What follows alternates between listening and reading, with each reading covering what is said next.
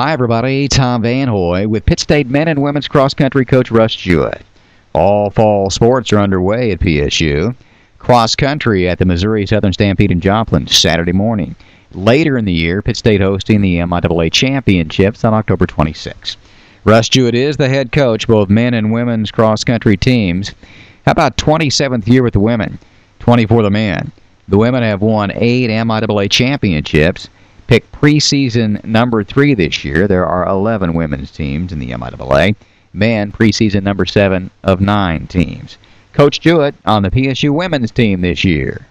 Well, it's it's a pretty typical for us blend of youth and experience that um, the coach makes a coach happy. I think you you want to have that experience excuse me, to to carry you through any tough times, and you have that youth to ensure the future. I think we've got a pretty good blend of both. We've got a pretty good front runner and uh, decent depth, I think. Uh, so hopefully, hopefully that'll bode well for us when it really counts in a few weeks.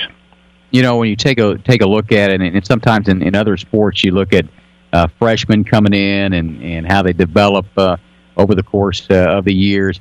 In cross country, is that the way it is too? Because I would imagine as a freshman coming in, you you've run a lot, but the, the experience and obviously the uh, physical maturity later on. It is similar, um, a little different in matter of degree. The men, for instance, the guys run 5K in high school. Their their event changes, their sport changes. They go up to 8K or 10K, so up to double the race distance. The girls don't. You know, usually they race 5K in high school and and go up to 6K, so it's not as dramatic an adjustment. So sometimes you see girls maybe make that adjustment athletically a little quicker than the boys, but all of them have to adapt to being away from home and all the things that any freshman has to. So it's similar. I would think that uh, from a conditioning standpoint, that on the men and women's side, they they both uh, have to come in prepared immediately. And if they don't, it just doesn't work that first year very well at all. Yeah, because you literally hit the ground running when you show up here. They they need to have come in with a big base of fitness from the summer, and uh, and usually they do. These distance runners are typically are very self motivated and do a great job. Sometimes we have to keep them from running too much. In fact. Mm-hmm do you have a program that you want them to follow before they come in at the beginning of the year? Yeah, the NCAA prohibits us from being in contact with them about their training during the summer, but we certainly can give them voluntary training, which we do. Um, and it's more of a guide than a day by day thing. But uh, more than that, well, in addition to that, we, we kind of let them know how it's going to be when they come in. So certainly they they need to avoid injury by getting the job done in the summer, and, and they do a good job in general. Can it be eye opening when they start the workouts when they get to college? Almost always is to some degree or other. Um, even if they do their job in the summer, they come in and they're around other runners who were the best runner at their school, like like they were. So it's just a whole different animal. And sometimes their their easy runs uh, when they were in high school um, are a lot slower than their easy runs here at the college level, and that's that in addition to just running more miles and the hard workouts are harder uh, those are the big adjustments athletically that some of these kids have to make. Tom Vanoy visiting today with Russ Jewett, uh, among the many things, uh, women and men's cross country head coach getting set to open up here just before too long. Can, can you give us uh, an indication of what a normal workout week would, would be for one of your runners? Sure, I can give you a sort of a slice in the life of a of a distance runner this time of year. I would start it with a Monday. We would have a hard workout on Monday, maybe for the guys, maybe six times a mile.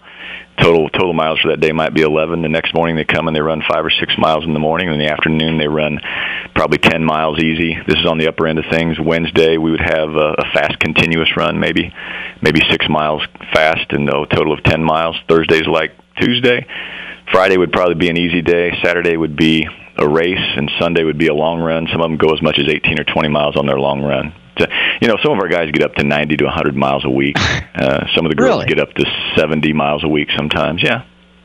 Wow. I mean, when you look at that, has it changed over the years? You've done it for, for a long time in terms of preparation in high school before you get to college. Because, you know, back in the day, and I, I don't know it's you know, the Eisenhower administration or whatever, but you'd run a few miles and then you get ready for cross country. But I mean, the physical fitness to be able to do what you just said to me is amazing.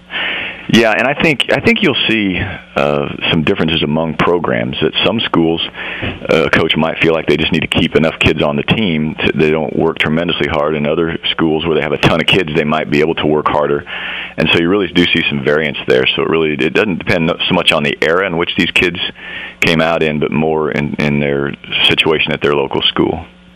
Has it changed much uh, from your perspective as a head coach in terms of uh, what you ask of them to do?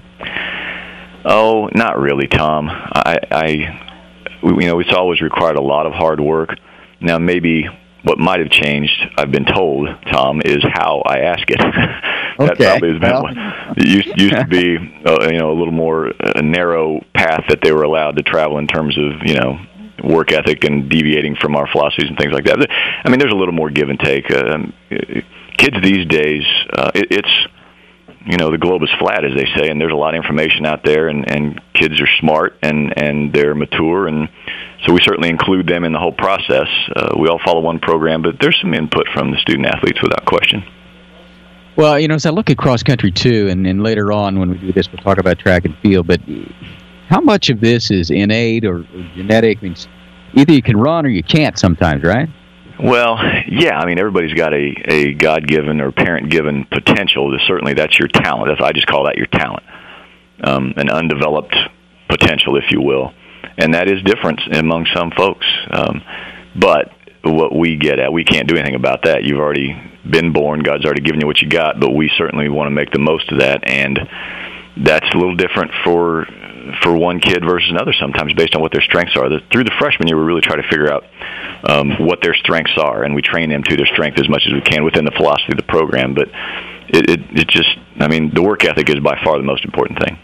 All right, so from a recruiting standpoint, you don't even have to leave the office, do you? You can just take a look at that list and say, all right, this guy can run 10K. I mean, well, if, I don't, if I don't have to leave the office, I should have gone anywhere yeah. last night, I guess. But well, it's easier than some sports, sure, because a time is a time.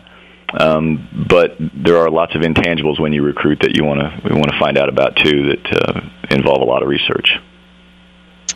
You have any uh, Jeanette Mott types on your uh, your team this year? Oh, Jeanette was one of a kind, so no. Yeah. But do we have someone near that talent level? Possibly. Um, we, we have a young lady named Jessica Macy who transferred to us from DePaul University.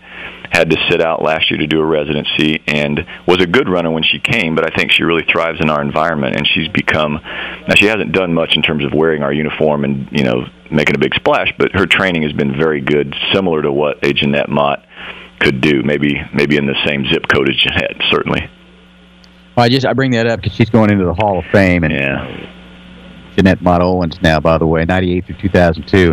And I know you've had great uh, runners there at Pitt State, but man, when you look at her, 2002 steeplechase national champion, second in 5,000 meters, and I can go on and on.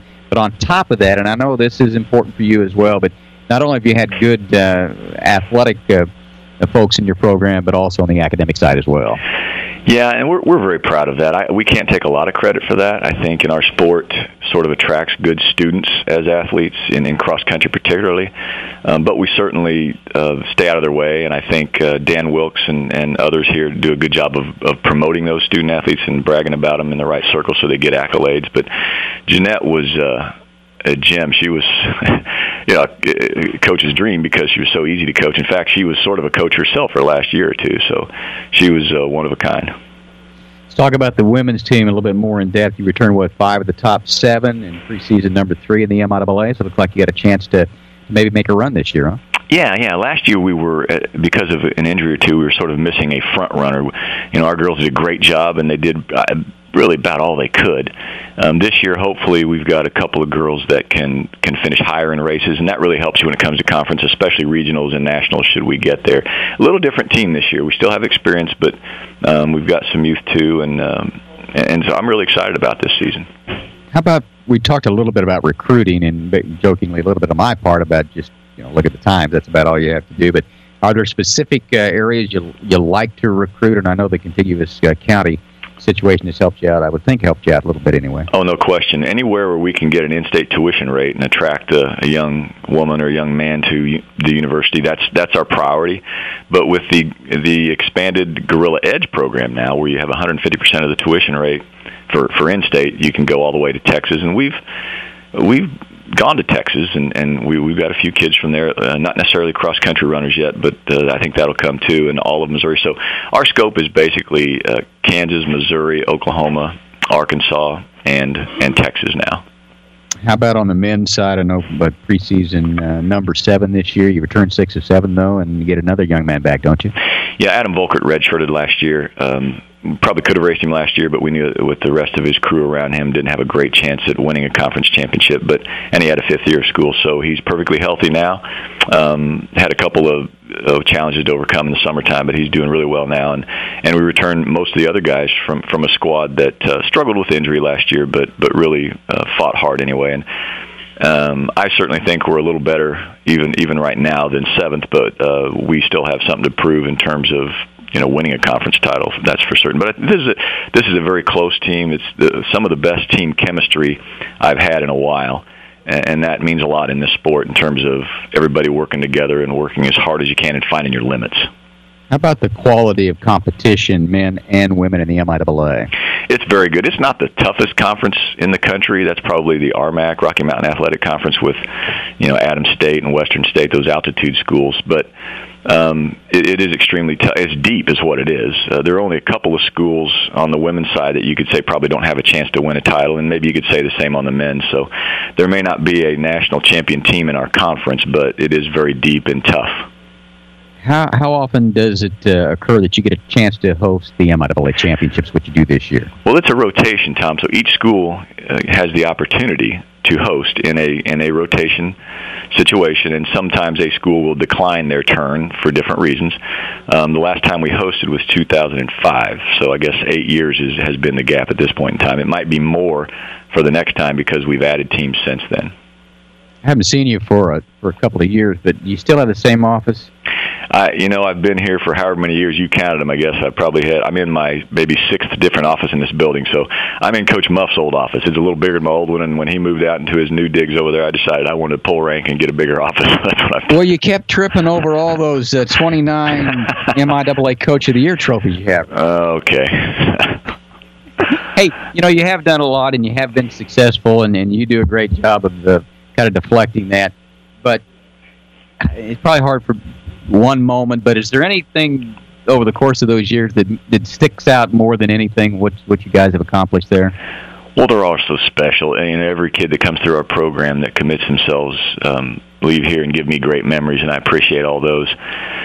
Uh, you know, I, I really can't pull one out. I, I yeah. think I, I remember uh, early, early in the MIAA. You know, I think sometimes in your career you remember the very beginning a little more, and maybe you remember the end a little more. And I just remember those early days in the MIAA. We we had some teams that uh, maybe had no business winning conference championships. We'd come from the NAI where we were used to winning, come up a level, and we just didn't know any better, so we just went out and win. And, and other folks kind of scratched their heads. So I, I guess I have unique memories, not any more special necessarily. Unique memories maybe of the first couple of years, 89 and 90, I guess, spring of 90, um, and, and some of our women's t- teams back then, back in the Christy Allen era, as I call it, uh, were, were awfully special for cross country as well. But they're all great, you know. They're, they're all great. They all give me great memories. All right, we'll wrap it up. But John, I'm sure you remember 1982, right, when you finished second in the NAIA outdoor as a decathlete. And people may not know that, but uh, I wanted to let them know. But what I wanted to ask you, though, is do you remember how many points you scored, and do you remember what your times were and how they would compare to today? Oh yeah, we we uh, decathletes remember all the points and the times, and uh, you know I I'd get my tail kicked by these kids today. They're they're uh, they're just uh, awfully good athletes these days. That's Pitt State men and women's cross country coach Russ Jewett. Again in Joplin Saturday morning, Missouri Southern Stampede there. We'll hear from Coach Jewett each week during the cross country season and again during track and field. Also head coach at Pitt State for both programs as well. Coach Jewett, 29-time MIAA Coach of the Year in cross country and track and field, more than any one coach in MIAA history. And oh, by the way, Coach Jewett also Senior Associate Athletic Director at Pitt State. I'm Tom Van Hoy. I'm Tom Van Hoy. I'm Tom